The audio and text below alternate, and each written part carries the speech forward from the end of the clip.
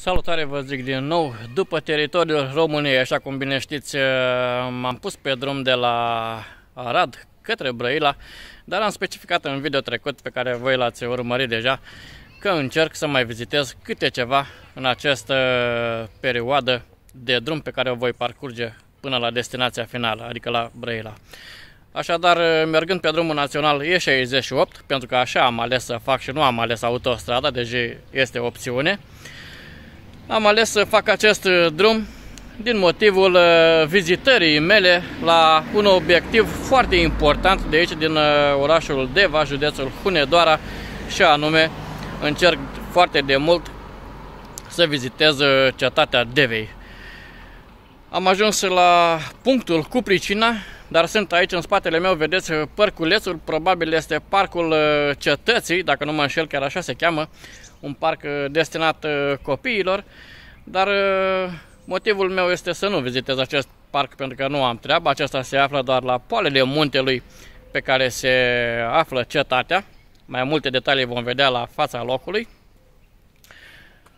Însă aici, în spatele meu, există, în spatele parcului, de fapt, există locul de parcare și scările aferente care te poartă pe jos până la cetate.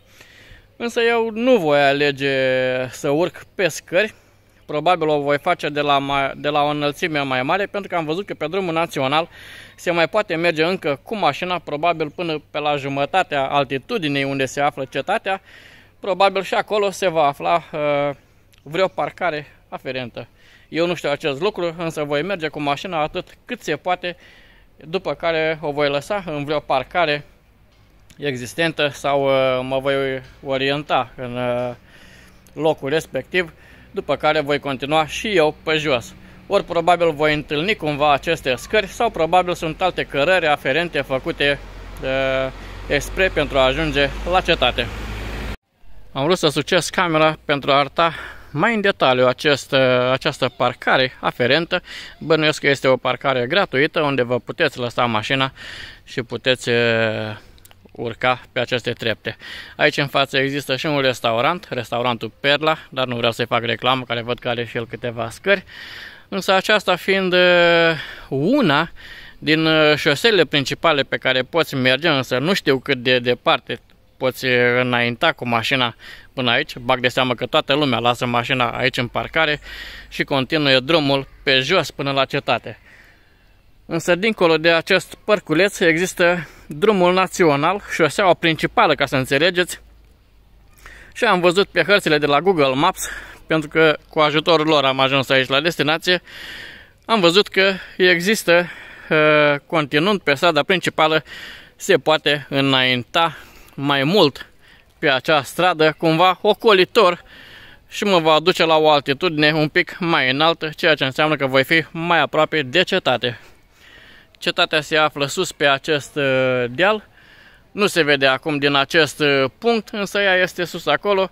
Eu mă voi întoarce la parcarea unde am lăsat mașina, dincolo de acest părculeț, practic la intrarea în acest părculeț. Și voi continua pe drumul național să urmăresc uh, hărțile de la Google Maps. Așadar, așa cum spuneam mai devreme, există într-adevăr o cale de a ajunge un pic mai sus decât acolo la Părculeț, însă nici pe strada principală nu te ajută chiar foarte mult. Acum se vede un pic mai bine cetatea acolo sus pe deal, dar bag de seamă că de aici, de la asfalt, Mașinile cu greu urcă până aici, sunt doar câteva mașini aici parcate, unde am parcat și eu alături. După care voi continua să merg pe jos pe această stradă pietruită, cu piatră cubică, pentru că asta face diferența. Pe această bucată de stradă voi continua să merg pe jos. Vedeți că și mașinile încearcă să urcă, să meargă cât mai sus, însă nu vor merge chiar foarte sus. La un moment dat și ei vor trebui să meargă pe jos.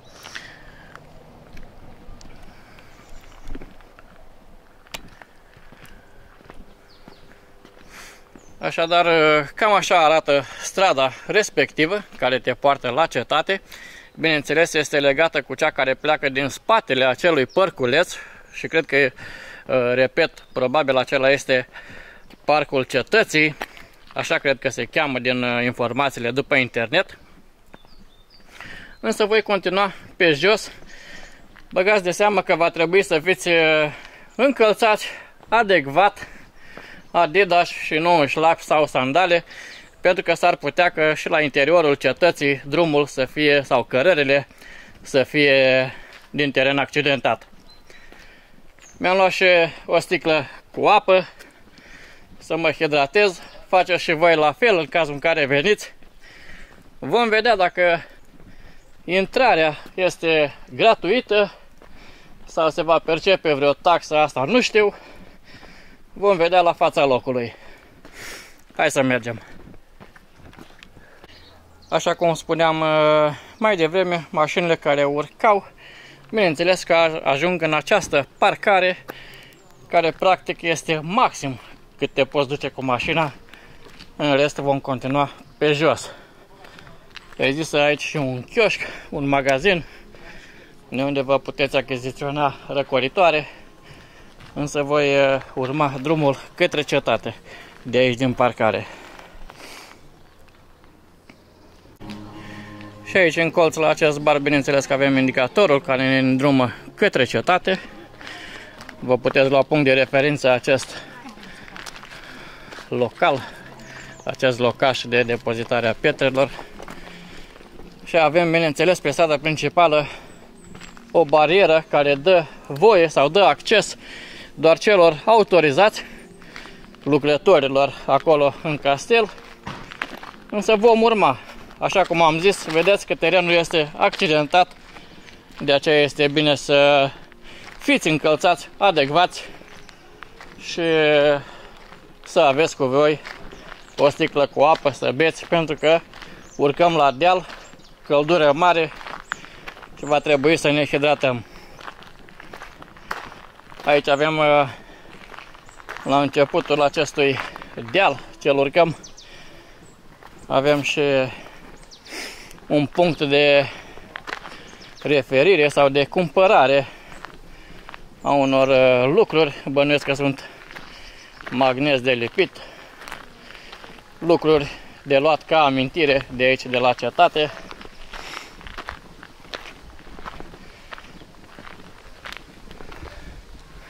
Și vom vedea traseul cum ne poartă până sus la cetate.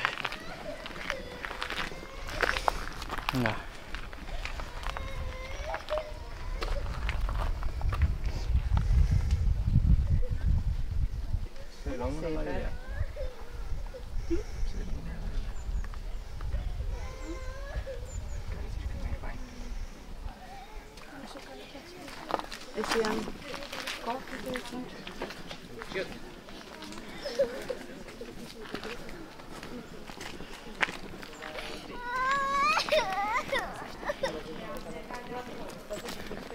O să mergem acum către cetate. Deja încep să apară zidurile cetății, dar pe cât am văzut de jos, în mare parte cetatea este înconjurată de schelă metalică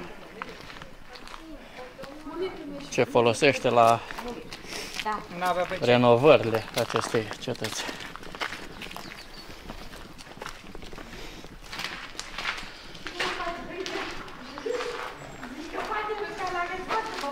Avem aici și programul de vizitare între 1 mai și 30 septembrie de la 9 la 9.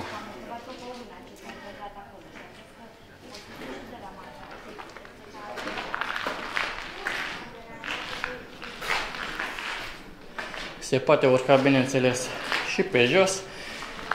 Există și o telecabină de urcat, însă nu știu dacă este funcționantă. Pe internet am văzut că este suspendat acest serviciu.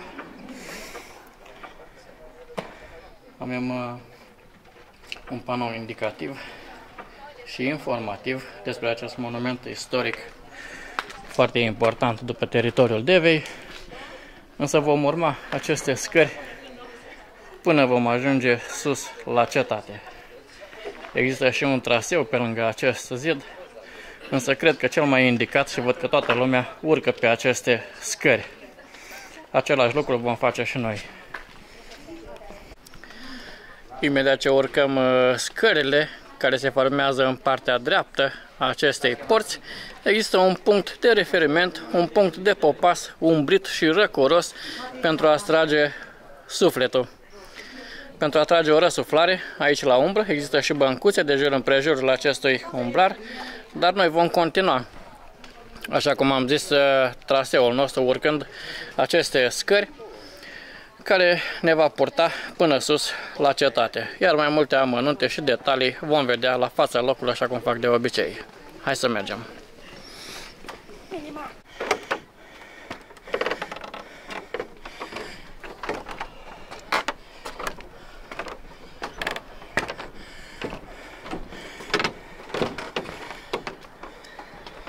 Așadar, atenție la vipere.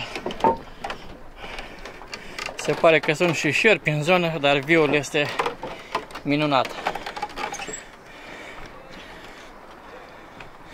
Ia priviți.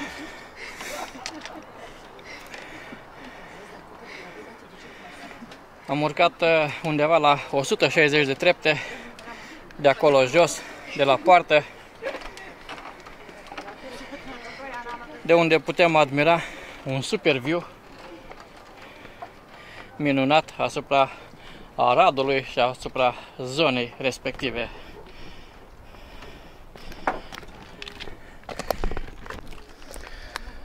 Așadar, și prin urmare, vă urez bun venit la cetatea Devei. O locație și un punct istoric încărcat de o energie istorică, dar din informațiile care le-am primit până acum de la turiștii care au vizitat deja acest punct turistic și obiectiv turistic foarte important din orașul Deva, se pare că se poate vizita doar la exterior. La interior probabil sunt anumite lucrări.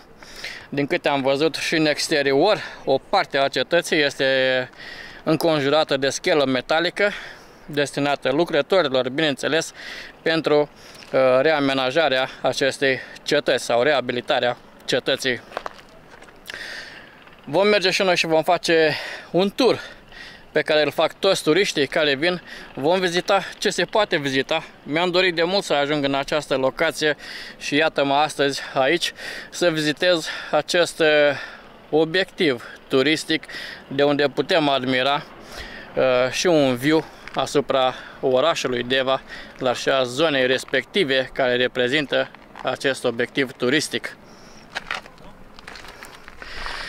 Această cetate, așa cum am zis, care se află și a fost construită pe, în vârful unui con vulcanic. Asta ne spune că în vechile timpuri, pe locația respectivă, exista un vulcan care probabil uh, s-a stins ulterior, iar în vârful acestui con vulcanic a fost construită cetatea o zonă foarte înaltă de unde se poate observa, așa cum ați văzut, toată zona pentru apărarea și pentru motivul defensiv al zonei respective. Legenda spune că ar exista cumva niște tuneluri, sau cel puțin unul, care leagă această cetate cu castelul Huniazilor de la Hunedoara, însă este doar la nivel de legendă. Nu cred că s-a cercetat în profunzime pentru confirmarea acestui aspect. A rămas doar, așa cum am zis, la nivel de legendă. Nu știm dacă există aceste tuneluri care ar fi făcut legătura între castele. Dar, așa cum am zis, vom merge și noi și vom vizita atât cât se va putea vizita din această cetate, din acest obiectiv. Avem aici și un punct de referire de unde vă puteți cumpăra câte ceva răcoritor, pentru că este foarte cald, asta în cazul în care veniți în timpul verii, așa cum am făcut eu. Văd aici și un mic popas. Vom vedea ce se află la interior și dacă vom putea să vizităm mai mult decât atât.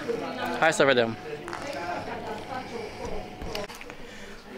Așadar, urmând acest uh, intrând, nu ne poartă la interior, ci ne poartă mai degrabă pe cealaltă parte unde se află tot la fel un loc umbrit și răcoros pentru a poposi și a strage răsuflarea pentru că este foarte cald. Pe tot traseul suntem uh, informați de existența viperilor, șerpilor existenți aici de munte. Tocmai de aceea am spus că trebuie să fiți încălțați cât de cât adecvat și să fiți atenți și la șerpi. Poate n-ar fi prezenți, însă de aici, de la acest punct, voi urma traseul respectiv care se află în partea din față, probabil pe aceste scări formate din piatră și voi urca mai sus către vârful cetății. Acesta fiind al doilea punct de referire pentru a poposi și a strage sufletul umbrit și răcoros, e foarte bine gândit, pentru că traseul este lung și anevoios în urcare. După cum am zis, repet, am urcat cam la vreo 160 de trepte. Le-a numărat cineva, nu le-am numărat eu și mi-a dat această informație.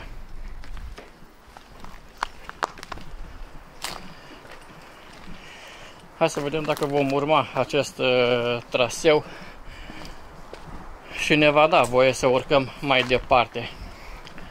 Deși bag de seamă că este restricționat accesul pe aceste scări, mă voi duce cât de cât mai aproape să văd mai în detaliu pereții groși ai cetății, dar uh, nu voi intra atât timp cât uh, accesul este restricționat aici în capătul scărilor.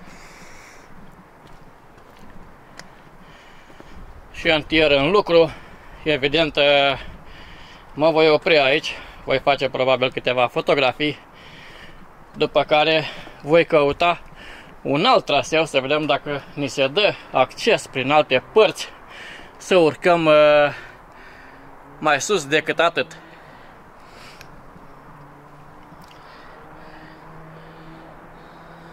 Bate și soarele. După cum vedeți, așa cum am zis, partea de sus este înconjurată de schelă. Cam 70% din cetate se află într-un uh, stadiu de remediere, având formate și aceste schele care susține suprafața, dar și schele construite pe de-a lungul pereților pentru o renovare, aș spune eu. Și la interiorul cetății, probabil, se execută aceste lucrări de întreținere și renovare a cetății, tocmai de aceea, din informațiile care le am, nu vom avea acces la interiorul cetății, dar view-ul este super, super minunat de la această înălțime.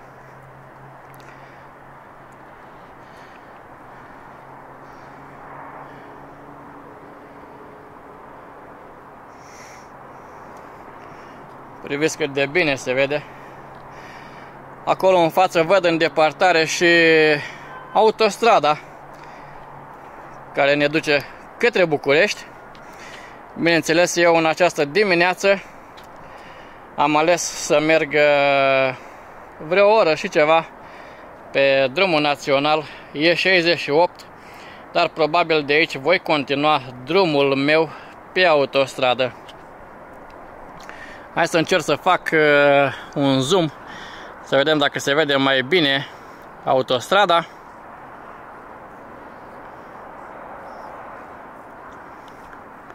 Da, este maxim zoomul maxim pe care îl pot uh, oferi cu acest obiectiv, însă bag de seamă că se distorsionează și claritatea imaginii. Dar cred că ați înțeles și ați prins uh, ideea locației respective. Sunt foarte vi multe videouri și și prezentări al acestui important punct turistic de aici din uh, Deva. Mi-am dorit și eu să vizitez și astăzi am ocazia, îmi pare rău că nu-l pot vizita și pe interior, însă poate vom avea alte căi, măcar să ocolim cumva cetatea, să o vedem din toate direcțiile. Hai să urmărim uh, acum și acest uh, traseu. Sper să nu fie restricționat, deși mă îndoiesc că mă va lăsa să merg prea departe, fiind un punct uh, mult mai înalt.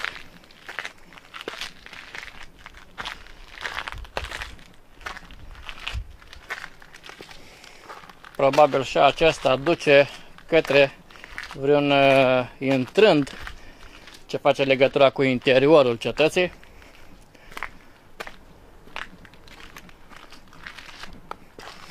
Da, am ajuns uh, la acest pod, această potecă făcută din lemn. Un pasaj. Văd aici accesul interzis. Accesul interzis persoanelor neautorizate. Însă văd că nu este o barieră anume.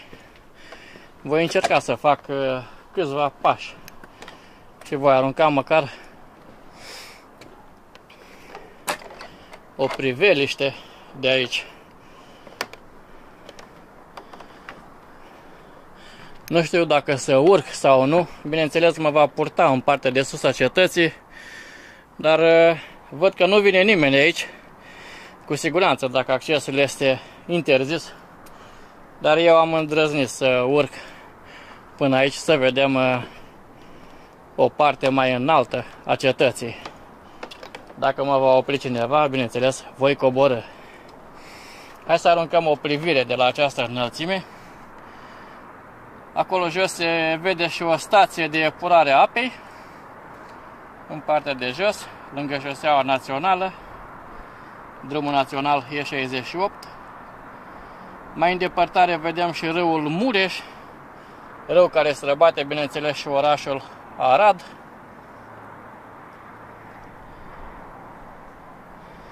dar și un super view asupra zonei respective. Așa cum de altfel se poate observa de jur împrejurul uh, cetății și în depărtare vedem și munții Făgărașului.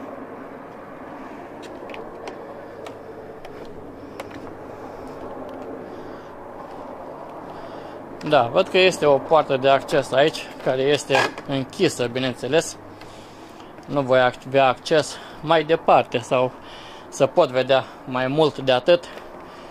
Nu voi înainta mai departe.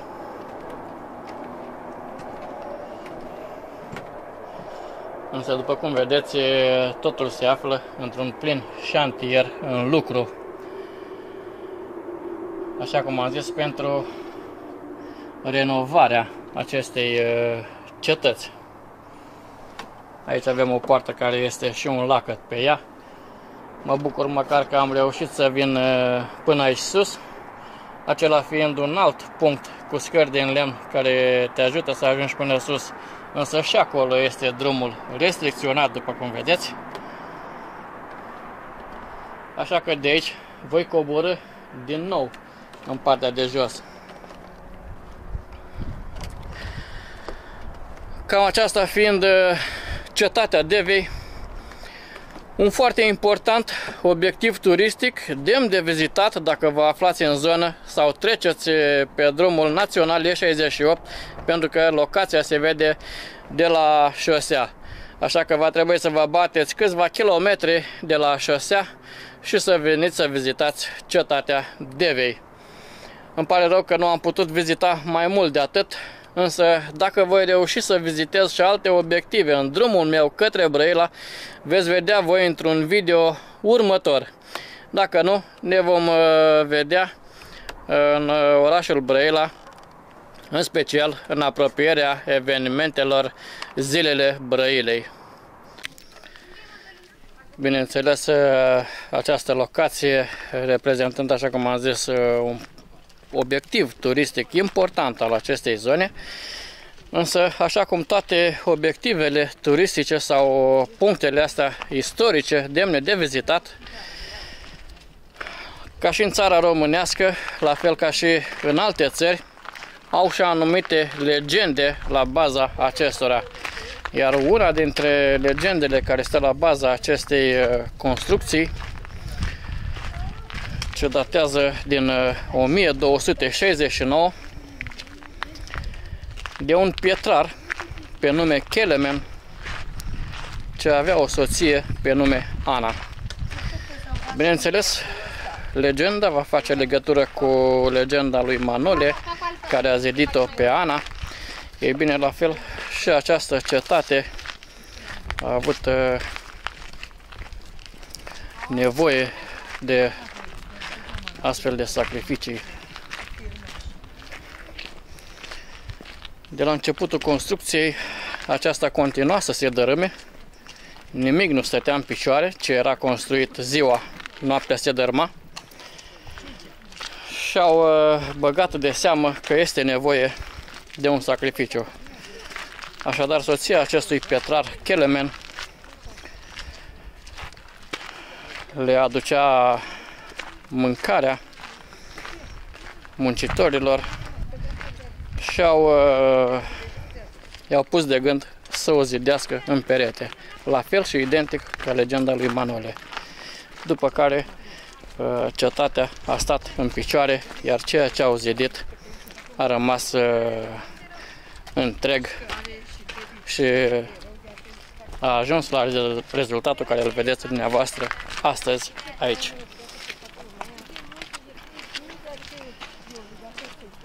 Asta fiind doar uh, una din legendele care stă la baza acestui obiectiv turistic. Evident, mai este și legenda tunelurilor care încă nu au fost confirmate.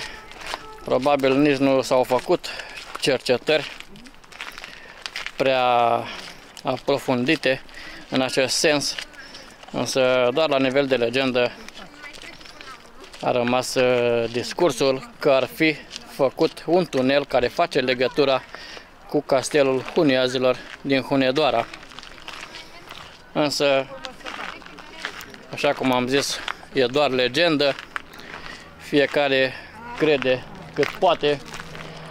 Acum am ajuns în, uh, într-un punct unde se și construiește, după cum vedeți, o locație nouă cu antene radio și pentru internet un punct uh, de unde putem admira un super view, lăsând uh, un pic cetatea în spate.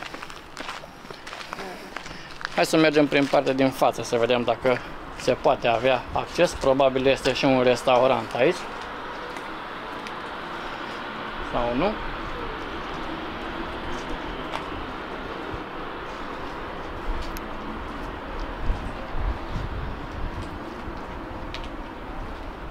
Bineînțeles, eu am intrat într-o zonă unde sunt conștient că nu am acces, există și o schelă aici, o zonă de unde putem admira și calea ferată și, bineînțeles, un super view asupra orașului Deva. Dar hai să mergem pe aleea destinată turiștilor și să nu avem probleme aici în zona de construcție. După cum vedeți, am lăsat cetatea în partea de sus, pentru că nu avem deocamdată acces acolo.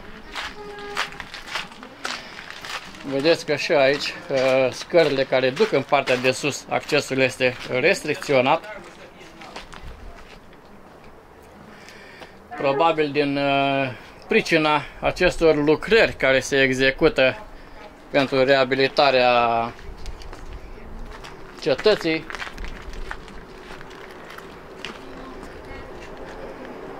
dar ne vom mulțumi cu atât cât se poate vizita la acest moment. Avem acolo orașul.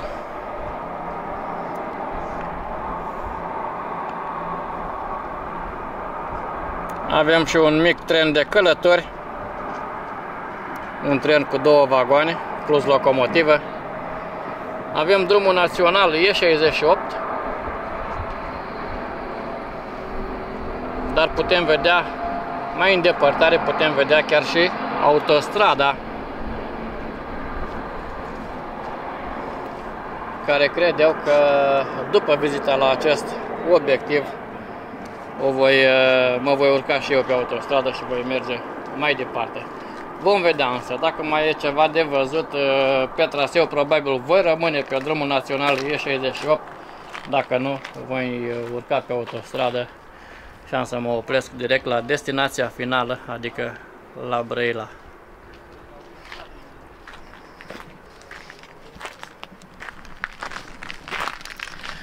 Îmi pare rău că nu pot avea acces la interiorul uh, cetății și nu se poate vedea mai mult decât am făcut până acum, să facem un tur de jur împrejurul cetății. Însă voi urma traseul care este destinat turiștilor. După cum vedeți, traseul nu a fost în totalitate și am ajuns iar în partea de jos de unde am și urcat cele 100 și ceva de trepte care le-am urcat de aici, ocolind cetatea.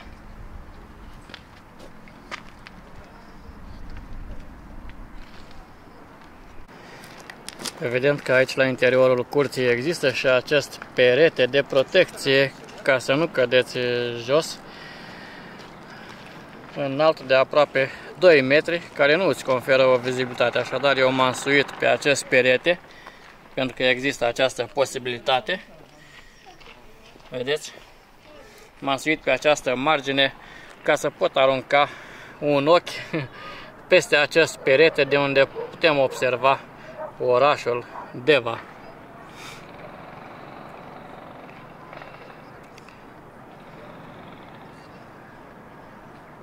În depărtare se vede și o ceață care nu ne confirmă, nu ne conferă tocmai o claritate foarte bună a imaginii, însă vă puteți da cu ușurință seama de zona respectivă și de viul asupra orașului.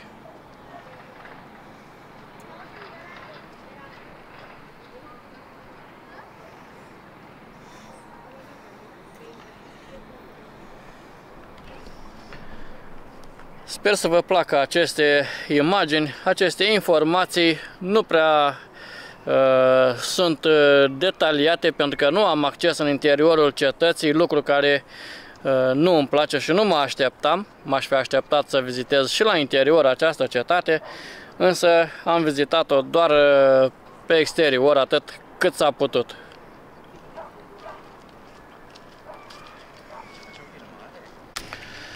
O altă informație foarte importantă, aș spune eu, ce aș putea să vă ofer de la această locație, de la cetatea Devei, este prețul.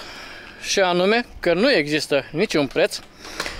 Bănuiesc eu datorită faptului că cetatea se află în acest plin proces de renovare sau reconstrucție sau reabilitare, cum vreți să o numiți, vizita la exteriorul cetății și ceea ce am văzut până acum este total gratuit, însă cred eu dacă cetatea nu ar fi fost uh, inclusă în acest uh, proces de reabilitare, bănuiesc eu că discursul uh, ar fi avut un alt context. Cu siguranță se va percepea și vreo taxă, lucru care ar fi posibil să se schimbe în viitor când lucrările vor lua sfârșit. Lucru care nu se știe Astăzi este sâmbătă, bineînțeles că nu lucrează nimeni în weekend, dar cred eu că în cursul săptămânii lucrările la această cetate uh, vor începe iar să fie în plină desfășurare. Pentru că am văzut aici și scule a muncitorilor, materiale lăsate vraiște, semn că încă se lucrează. Așadar, puteți trece liniștiți, nu vă costă nimic să urcați până sus la cetate.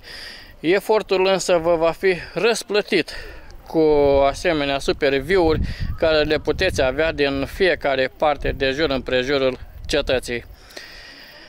Sper să vă fie de folos astfel de informații.